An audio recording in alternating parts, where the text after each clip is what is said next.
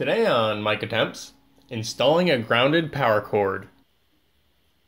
My 1937 Delta DP220 drill press still has the original power cord, and it's in bad shape. It only has a two-prong plug, so I'm going to replace it with a three-prong grounded power cord. The only time you'll see a newer tool with a two-prong plug is if the electrical components are double insulated denoted by the square within a square symbol. If the tool is not double insulated, it should have a three-prong grounded plug. If you have an older metal tool with a two-prong plug and there's an electrical short, your body will become the path of least resistance for the electricity, which is a bad thing. This should go without saying, but unplug the tool first. Access is pretty easy on this old drill press. Just two screws and you're in.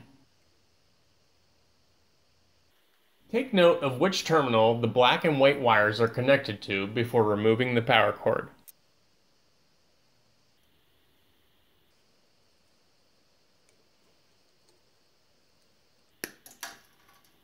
The jacket on the old cord is cracked and worn from one end to the other.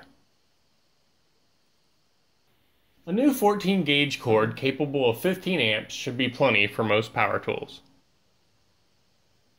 This cord has an SJO jacket type, which is flexible rubber. The O stands for oil resistant, but it is not suitable for outdoor use. If there's a T in the jacket type, it signifies that the jacket is thermoplastic, which isn't as flexible, especially in the cold. If you'll be using your tool outdoors, be sure there's a W in the jacket type, which means it holds up well to moisture and sun.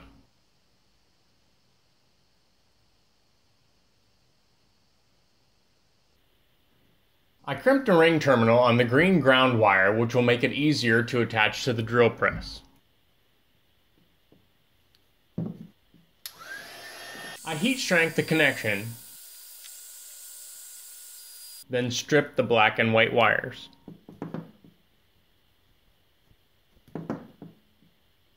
I chose a screw close to the switch that would give me good ground on bare metal.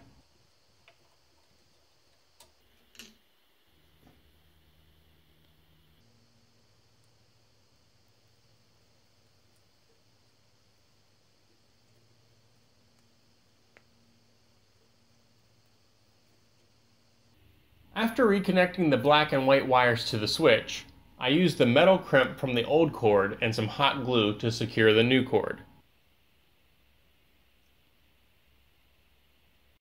I'll run the ground wire through this vent hole.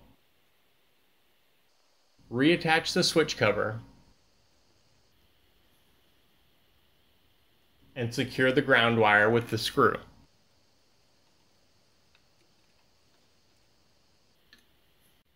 To test that you have a good ground, set your multimeter to continuity, put one probe on the plug's ground prong, and touch the other probe to any bare metal on the tool. That tone confirms continuity, so the ground is good. Feel free to rate this video, add your comments and questions below, and subscribe for more.